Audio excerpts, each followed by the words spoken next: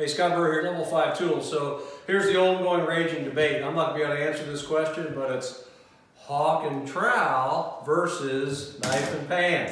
This has only been asked about 5,000 times online, and the answer is there is no answer. There's a lot of guys, particularly in the United States, Northeast, uh, maybe even Southwest, where EIFS and stucco, maybe there was plaster that was used in a lot of places that they were brought up and trained by their dads and their grandpas using a hawk and a trowel, right? There's guys in Canada, primarily hawk and trowel. Plastering trades primarily came from Europe. In Europe, we see a lot of hawk and trowel guys, just because they were brought up under the plastering.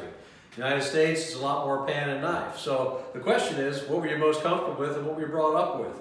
There is some debate though related to ergonomics, you know, when you're using a pan, when you're using a pan all day long and hold this pan in the night, you're using your hands and you're using your muscles in certain ways. There's some guys who are starting to switch it up a little bit. You know, they start getting a little bit tired. They get their wrists uh, get a little worn. You know, they mix it up because it's a different way of finishing. Now, it does take some getting used to, of course. You know, when you're blending your material on a, on a hawk, uh, and then you're putting that on in a different way. It's a different motion, different pressure, and different way to hold. So uh, I'm not going to tell you which way to go is better. You know, I see a lot of guys loading their outside corners with a trowel.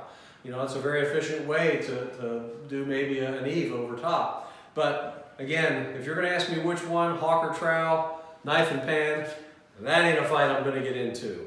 If you like what you hear, subscribe to our YouTube channel. You can always check us out on Facebook under Level 5, level5tools.com. Welcome to the Red Zone.